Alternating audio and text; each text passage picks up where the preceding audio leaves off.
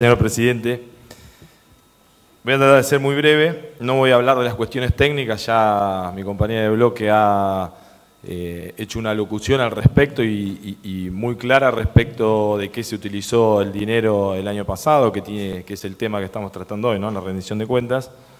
Tampoco me voy a referir a cómo ven la realidad los concejales de la oposición, porque queda claro que tenemos visiones muy distintas y lo hemos discutido muchas veces, pero sí me gustaría un poquito eh, hablar de cómo es el proceso de la rendición, de cómo ha sido eh, durante muchos años y cuál es la postura de este gobierno en ese sentido. La realidad que han nombrado así muy por, por encima el tema que se le ha dado una clave del, del RAFAM. RAFAM es el sistema de control administrativo que online y en el momento van viendo todos los pasos administrativos que hace el municipio o sea que con esa clave no solamente para este expediente, sino que acá adelante pueden todos los días ir viendo cómo va evolucionando los gastos y los recursos que tiene el municipio para el año que viene, así llegan mejor preparados y tienen más tiempo para, para tratar la, rendición. Y este tema que por ahí lo nombraron así muy por encima, realmente es importantísimo, lo hemos pedido y, he, sido autor de una ordenanza en donde solicitaba el cumplimiento de esta ley, porque esto está establecido por ley, que por suerte en aquel momento el Consejo me acompañó, salió aprobado y que nunca nos dieron esa clave. Y hoy el municipio de Pilar ha dado esa clave y es el único en la provincia de Buenos Aires. Por primera vez se dio cumplimiento a una ley que establecía la obligación del municipio, la, obligación del Ejecutivo, perdón, municipal, de compartir la información que posee junto con los concejales, porque como bien decía por ahí alguno de los concejales que me precedió la palabra, no, no es un patrimonio, eh, no es exclusivo del, municipio, la administración o del Ejecutivo, sino eh, que es una administración en conjunto con el Consejo Deliberante que tiene que ejercer las veces de control y también de generar herramientas para que, para que el Ejecutivo pueda gobernar. ¿Cómo ha sido realmente en los años anteriores? Muy duro. Hemos podido ver los expedientes que hay, porque Primero se generan los expedientes de contratación a través de licitaciones o contrataciones directas o el sistema que se tenga que utilizar por el monto y por, por las cuestiones que traten.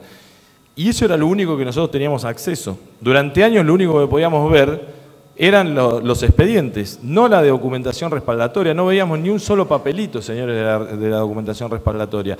Este año se han puesto la totalidad, que si bien, eh, que realmente es muchísimo, lo dijo una de las concejales que tengo que dar fe que más ha trabajado con el tema de la rendición y que ha analizado permanentemente el tema de la documentación, que es la concejal Juanes, que vino todos los días a ver la documentación, que son 360 cajas. Y es evidente que en dos meses, y por más que lo hubiésemos votado dentro de 15 días, tampoco se puede llegar a ver la totalidad de la documentación que existe, porque es la documentación que hace a todo un año de gestión. Entonces, eh,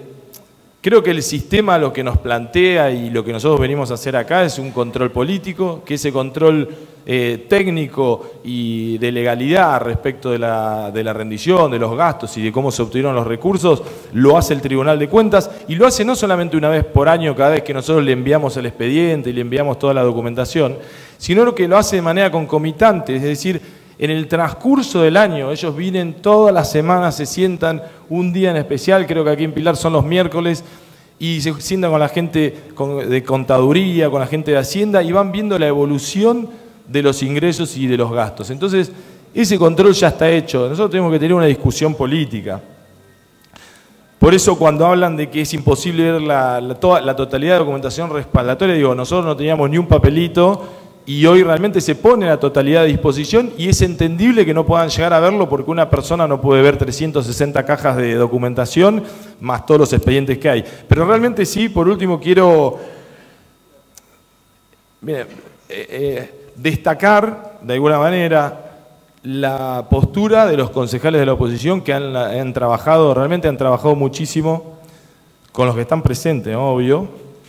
que realmente no solamente con este tema de la rendición, sino en el trabajo en comisión, eh, generalmente están aportando ideas y son los que más nos critican. Digo, en el, trabajo interno, aquellos concejales que más cuestionamientos nos hacen y que más tratan de cambiar ciertas cosas o de eh, tratar de sacarle el mayor jugo posible a las herramientas que le tenemos que dar al Ejecutivo son los concejales que están acá presentes. Entonces realmente hay que destacar eso la responsabilidad, el compromiso que tiene, no solamente con la función aquí en el recinto, que es donde es la discusión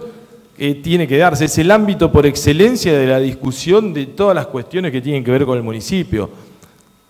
Digo, hay, hay concejales que están equivocando el camino, hay concejales que están equivocando el camino y que están intentando llevar las cuestiones a discusiones que, no deben existir. Tenemos que tratar de generar eh, el diálogo, el consenso, pero también la crítica y la aceptamos. Realmente nos hemos llevado de todo este trabajo que se ha hecho con esta rendición muchas críticas que obviamente el Ejecutivo las toma, obviamente que se van a, modificar cosas y eso es lo importante de sentarse acá y discutir. Mm, eh, por eso quería destacar eso, señor presidente. Y también utilizar por ahí, mire, eh, una palabra, alguna, una frase que me, me dijo un concejal de los que se retiró. Me dice, la verdad que ustedes me la hacen muy fácil, porque hoy con la transparencia, con la, con la página web de gobierno abierto, eh, yo me siento en mi casa, me tomo un café y empiezo a analizar la rendición de cuentas y ahí saco toda la información que necesito después. No necesito ir a ver los papeles. Y no vinieron a ver los papeles. No es que no llegaron, es que realmente no se presentaron. Nos pidieron que haya gente hasta las 8 de la noche. Hubo empleados municipales hasta las 20 horas con la documentación, esperando a que vengan los concejales que decían que no habían tenido el tiempo de verlo y no vino ninguno de ellos. Ninguno de ellos se presentó a ver la documentación. Entonces, tenemos que empezar a hablar con la verdad. Es importante, como dije, el trabajo de la oposición para mejorar las cosas, para marcarnos los errores, pero siempre con la buena fe, con la buena fe de los que muchos de los que están acá trabajan y lamentablemente el resto no lo hace y espero que empiecen a tomar conciencia de esto, empiecen que recapaciten y empiecen a trabajar como, como, corresponde, en el recinto, dando la discusión que hay que dar y no yéndose por la tangente y mintiéndole a la gente como están haciendo. Le dicen a la gente que no se le dio la documentación cuando realmente eso, eso no es cierto. Se le ha dado toda la documentación que han pedido y si en algún caso no se le ha dado fue para tener algún tipo de resguardo y me refiero específicamente al listado de personal que pidieron con el monto de los saberes que percibían. O sea, pedían la totalidad de los empleados municipales, que eso sí lo tienen, eso lo pueden consultar, entran en la página web y está, y si lo necesitan impreso porque no lo pueden buscar en la página, se lo vamos a dar. Pero no nos parece correcto, señor presidente, dar información que es muy sensible para la gente y que todo el mundo sepa cuánto gana cada uno de los empleados municipales. Los funcionarios no tenemos problemas, están eh, publicados en la página, como tantos otros datos importantes que tienen que saber no solamente los concejales, que a partir de ahora tienen la clave Rafam y que tienen eh, un mayor acceso a esa información, sino también todos los vecinos de Pilar. Como bien decía el concejal Álvarez, nosotros tenemos que rendir cuentas a la sociedad, al vecino de Pilar, y eso es lo que hacemos permanentemente. Por eso nos planteamos objetivos, nos planteamos metas y le decimos qué es lo que vamos a hacer cada uno de estos años y lo estamos cumpliendo. Y pueden analizar el grado de cumplimiento porque nosotros le decimos cuáles son nuestras metas y nuestros objetivos y nuestros compromisos de gobierno, cosa que nunca se hizo y cosas que hoy se están cumpliendo casi en la totalidad. Vamos a seguir trabajando de esa manera y más allá de la crisis y de todo lo negativo que ven muchos de los concejales de la oposición, vamos a seguir haciendo los asfaltos que se necesitan. Decía por ahí un concejal, eh, Darchet, realmente que hay atraso, y sí, realmente hay atraso, lo sabemos, concejal, estuvieron 12 años y prácticamente no, no hicieron asfalto, no hicieron cloaca, no hicieron agua corriente, realmente sí hay atraso, concejal. Entonces estamos tratando de que ponernos al día con eso y realmente cuesta muchísimo, pero si ven en los números realmente el monto que se ha aplicado a obra pública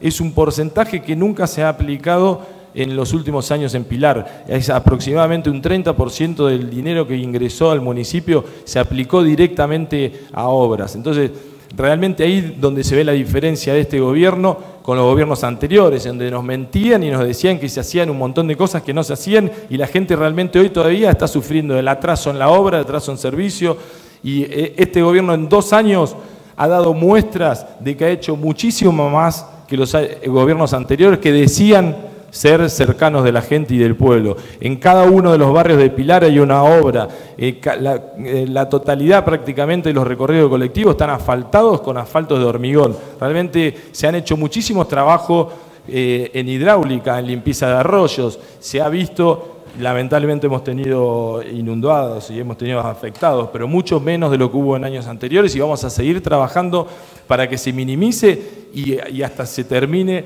la afectación de vecinos de Pilar por el tema del agua. Así que realmente creo que este gobierno está haciendo un trabajo importantísimo, que las, cuentas están absolutamente claras y son visibles para el vecino porque están eh, mostradas en obras en cada uno de los barrios. Así que estamos muy, muy tranquilos con lo que se vota hoy. Obviamente que, vamos a acompañar todos y agradecemos nuevamente, eh, o destacamos más que agradecer, porque es una responsabilidad que tienen todos los concejales de estar presentes y dar la discusión y que nos peguen los palos que tengan que pegar y que critiquen lo que tengan que criticar, porque realmente eso hace que el gobierno sea un mejor gobierno. Así que gracias, señor presidente. Gracias, concejal.